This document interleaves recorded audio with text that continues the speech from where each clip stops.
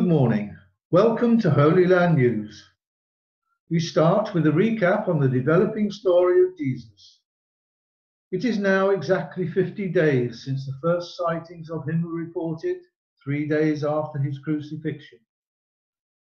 Various other reports have come in of sightings in the local area, but no one was able to secure an interview with either the man himself or any of the apostles. Then, 10 days ago, reports came in of a highly unusual cloud formation near Bethany. Mystery now surrounds the whereabouts of Jesus himself, but his followers are believed to be somewhere within the greater Jerusalem area. We promise that if there is any news, you will hear it first on HLN, so stay tuned in. Coming up, controversial plans for a new temple Herod's latest edicts, international pilgrim season in Jerusalem, the latest weather and Sorry, I'm going to have to interrupt this bulletin. We have some urgent breaking news. So I'm going to hand over straight away to our roving correspondent in Jerusalem. What's going on, Helen? This is Helen Highwater reporting from downtown Jerusalem, a scene of absolute chaos. Crowds are gathering outside a small rooming house, which has a huge cloud above it, and the wind in the immediate area is extraordinarily strong. A member of the crowd told me that he had seen about a dozen men entering this building, and immediately afterwards it sounded as if explosions were taking place inside. Oh no, I can see horrific flames coming from the roof of the building. No, no, I'm totally wrong. The fire is not coming from the building, but from the cloud above. I have no idea how this is happening, and neither have the crowd. They're pushing back in confusion. This is awful. Surely no one inside can survive. Now what is happening? The wind and the cloud have suddenly dissipated. Everything is perfectly silent. I don't believe this. Men are actually emerging from the building. Could these be the twelve apostles everyone has been looking for? They look radiant and are talking to individuals in the crowd. I wish I could get closer to hear what they're saying, but my microphone lead is too short. There's movement in the crowd now. They're turning to one another in amazement. One of the twelve is stepping forward as if he may be about to address the crowd. Let's listen to what he has to say.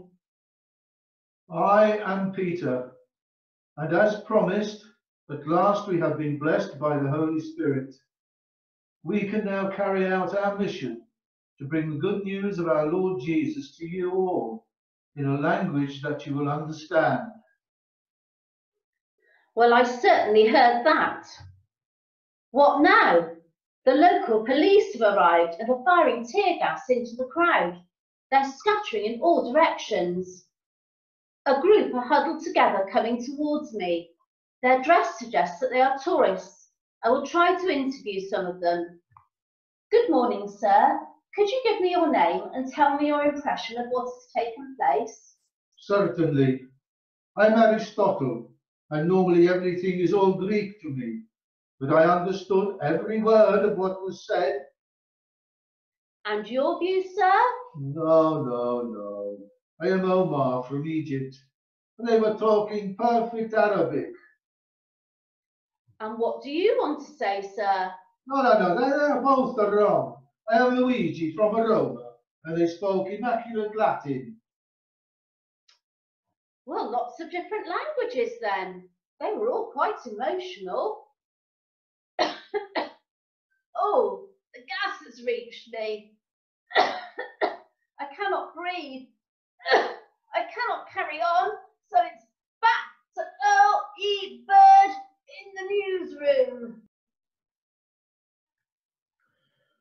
I hope she's all right. Hopefully, we'll be able to return to her again soon. She certainly went to hell and high water to bring us that fast-paced report. Let me recap for those who have just tuned in. Reports have been coming in of an unusual event in the outskirts of Jerusalem. We understand that the apostles of Jesus were involved. And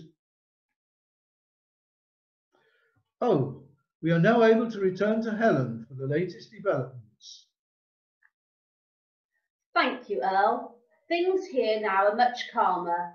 The huge crowd and more to the point the 12 have disappeared. I have managed to grab the Chief of Police to explain the reasons behind his actions. Sir. Thank you for giving me this opportunity to speak.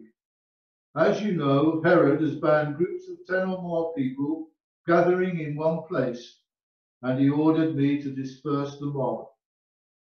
My team and I arrived and saw such frenzy amongst the people that I realized drastic action was necessary hence the use of the tear gas. I think you must agree, Helen, that this course of action was expedient.